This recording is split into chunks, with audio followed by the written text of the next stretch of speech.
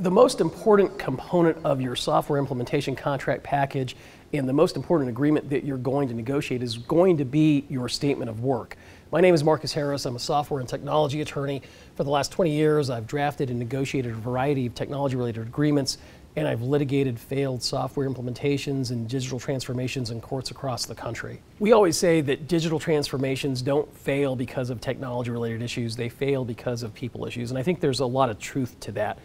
And because that is a general tenant associated with these types of transactions, one of the most important agreements that comes to the forefront in the negotiation process is really the master services agreement, the professional services agreement, they're called different things,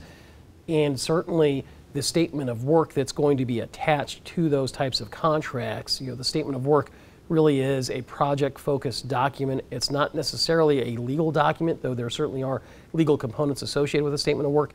It's really the document that level sets how the project is going to go. And on that document, you have to ensure that you manage the implementation project, or at least the phase of that implementation project that the SOW relates to, with a high degree of care and a high degree of specificity. And what this means is that you need to include specific milestones for certain phases of you know, whatever portion of that project or portion of the implementation in its entirety that, that SOW is dealing with. You want to include specific deliverable obligations that reference back to requirement documents associated with those deliverables. You want to have clearly defined obligations that are placed on the vendor. You have to be careful about the obligations that the vendor is trying to place on you as a customer. And you also need to ensure that you've got some sort of acceptance testing criteria within the body of that statement of work associated with whatever deliverables or products um, or services that are being provided to you. There's a variety of things that you need to include, but I think if you can focus on at least those, you're really going to set yourself up for success and to have you know, a dog in the fight in the event that that SOW or that project starts to go sideways. You can always point back to that SOW, and ideally, it will tell you know, both parties exactly what the obligations are, exactly what the deadlines are, and what the contractual obligations are with respect to that portion of the project. Now, while I think all of that is incredibly important, there is you know, one fundamental flaw associated with statements of work, and I think it really is that you know, the statement of work for all that we do to try to ensure that it is a project management type document, it really is a snapshot in time, and what it is good at capturing is really you know, the parties' expectations and intentions at the time that that statement of work was negotiated and signed.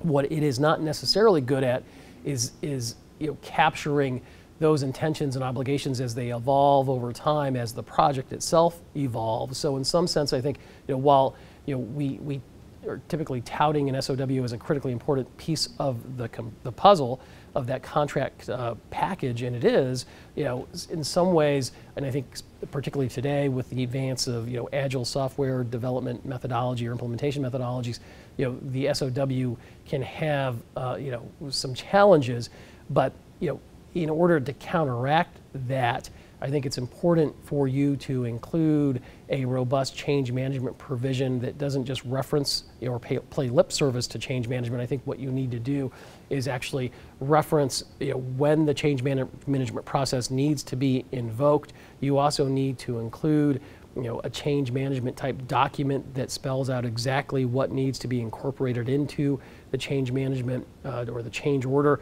so that everybody knows not only what is you know, outside of scope, what's in scope, what the costs are going to be, but you also want to know what the impact on the overall project is going to be, the project timeline, deliverable milestones, whatever it is, all of these things want you need you need to put them in there again with a high level of specificity. And I think it's also incumbent for you to think about documents that may exist outside of the statement of work. You want to make reference to the extent it's appropriate for your deal, you know, to project plans, um, project status updates. You know, if you can incorporate you know things that are a little bit more broad uh, than just the statement of work in and of itself, I think you're then you know really uh, setting yourself up, like I said, for success because you're going to have a document that you know not only captures what the parties' intentions are at the beginning of the project, at the time that document was executed and signed,